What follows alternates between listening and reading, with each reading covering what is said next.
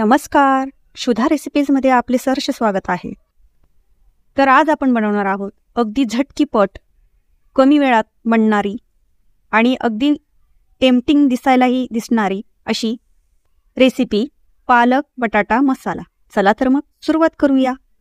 तर सर्वप्रथम इथे मी गॅसवर कढई ठेवली व त्या कढईमध्ये चार ते पाच पळी तेल छान तापवून घेतले आहे. आता या गरम झालेल्या तेलामध्ये इथे मी चार ते पाच मोठे बटाटे याच्या साली काढून मोठ्या फोडी करून घेतल्या आहेत आणि पाण्यामध्ये स्वच्छ धुवून पाणी निथळून घेतले आहे. तर या फोडी आता या तेलामध्ये टाकून घ्यायच्या आहेत. आता या फोडी थोड्या परतवून घ्यायच्या आहेत.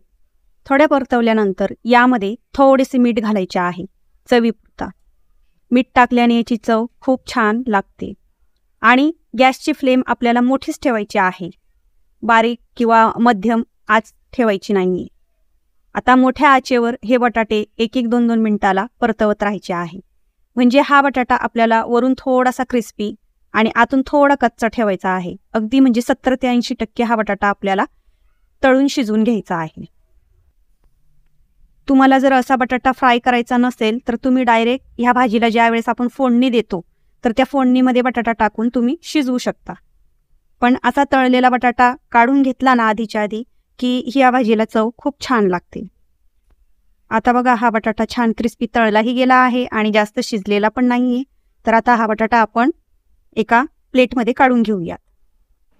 आता गॅसची आच मंद ठेवायची आणि याच उरलेल्या तेलामध्ये आपल्याला थोडेसे जिरे आणि लाल मिरचीचे दोन तीन तुकडे टाकून छान परतवून घ्यायचे. परतवल्यानंतर यामध्ये दोन बारीक चिरलेल्या हिरव्या मिरच्या यांचे तुकडे टाकायचे आणि कांदा टाकून घ्यायचा आता हे पण छान परतवून घ्यायचे आहे.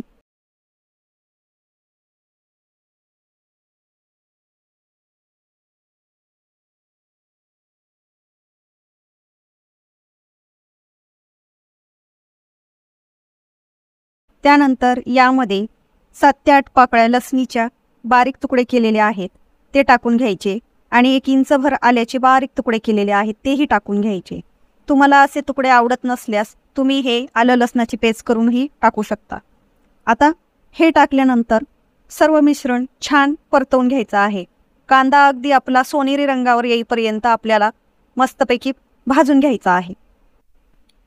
हा कांदा लवकर तळण्यासाठी यामध्ये मी थोडेसे मीठ टाकले होते.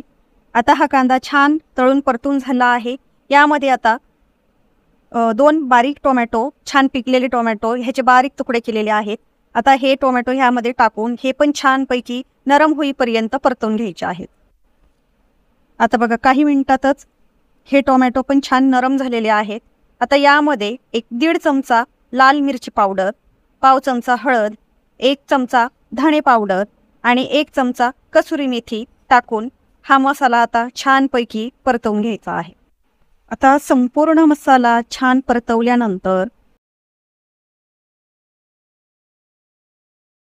जे बटाटे आपण तळून ठेवले होते ते या मसाल्यामध्ये टाकून मस्तपैकी एकदा पुन्हा परतवून घ्यायचे आहेत. अगदी स सगळा मसाला बटाट्यांना छान कोट होईपर्यंत हा मसाला परतवत राहायचा आहे. तर आता हा मसाला पण छान परतवून झाला आहे. तर यामध्ये इथे आता आपण बारीक चिरलेला पालक ॲड करून घेणार आहोत. इथे मी एक गड्डी पालकाची घेतली होती. ती निवडून स्वच्छ धुवून आणि मग बारीक चिरून घेतलेली आहे. तर आता ही पालक आपण या मसाल्यामध्ये टाकून छान परतवून घेणार आहोत. गॅसची आच इथे मध्यमच ठेवायची आहे. अगदी लो पण करायची नाही आणि हाय पण करायची नाही. मध्यम आचेवरच हा पालक छानपैकी शिजू द्यायचा.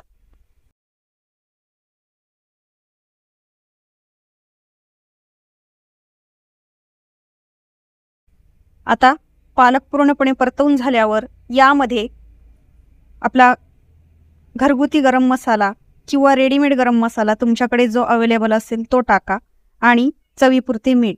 मीठ आपण कांदा परतवना परतवताना पण टाकला होता आणि पालक हा थोडा खारट असतो त्याच्यामुळे मीठ टाकताना अगदी बेताचं टाकायचं. तर आता हे सर्व टाकल्यानंतर हा पालक पुन्हा एकदा छान परतवून घ्या आणि अगदी या दोन मिनटं आपल्याला याच्या या पालकला वाफ देऊन घ्यायची आहे. त्याकरिता इथे मी इथे झाकण झाकत आहे. ताट झाकून दोन मिनटं या पालकाला छान वाफ काढून घ्यायची आहे.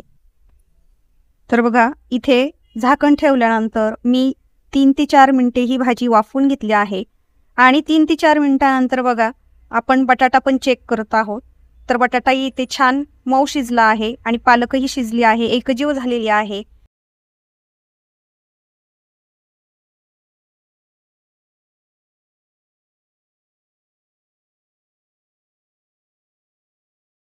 आता वरून इथे तुमच्याकडे लोणी असेल तर लोणी टाका बटर असेल बटर टाका नाहीतर गावरान तूप एक चमचाभर टाकलं तरी चालेल.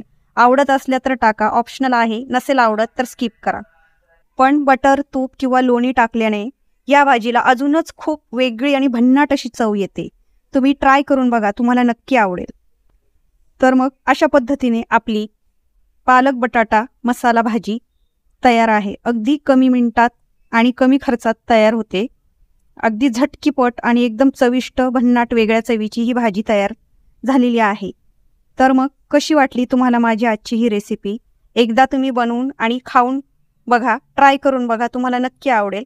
आणि आवडल्यास लाईक शेअर कमेंट नक्की करा. आणि आपल्या क्षुधा रेसिपी चॅनलला सबस्क्राईब जरूर करा. धन्यवाद.